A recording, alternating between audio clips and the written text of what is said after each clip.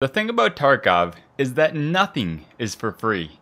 Everything is earned through smart tactical play, where risks are weighed in the heat of battle and. Huh. Oh, frick! That's a FLIR!